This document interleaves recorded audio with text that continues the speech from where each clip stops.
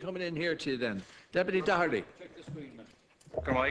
Ceann Comhairle, um, on three separate occasions I've raised an issue in terms of pending legislation in this House, and I would appreciate if I get an answer today. I, as far back as February, February I've asked the Taoiseach, I've asked the Taoiseach, and again I've asked the Taoiseach just last month, and it's in relation to uh, a commitment in the programme of the government and a commitment in relation to bringing forward legislation to publish the 1926 uh, census. The last time I raised this, I, I wished the, the, gathering initiative well. We have, you know, the former ambassador in terms of cultural affairs today, you know, criticising the government in relation to it being a scam, saying that the government are only interested in the shakedown of the Irish diaspora. What was supposed to happen was the 1926 census was supposed to be published so that the gathering, people coming All here, could be able to trace their roots. When is this legislation going to be published? And can you give confidence to the Irish diaspora that you mean more than just simply a shakedown and trying to take the last few pounds from them? Well, uh, Deputy, I disagree with respect to our very eminent former Ambassador for Culture, Gabriel Byrne. He says that all, all, all, Ireland is interested in is a shakedown of people coming here.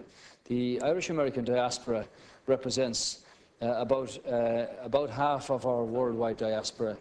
Um, and uh, as I say, the, this is a very credible national proposition uh, to invite people back here to Ireland in 19, uh, for, for 2013, not just uh, for the purposes of traditionally hoping that they will spend money, but to have an enjoyable, beneficial experience and for those who wish to find out where their antecedents came from, uh, to have that opportunity.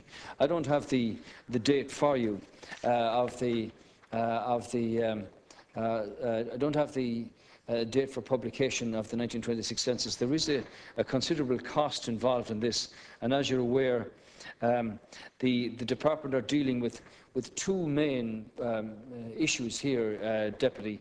One is to put in place the necessary statutory power to enable the project to uh, proceed while taking into account uh, of the current 100-year confidentiality rule which under the which applies and that the Central Statistics Office collects its data under that rule. In other words, you are not supposed to do this until 100 years have passed.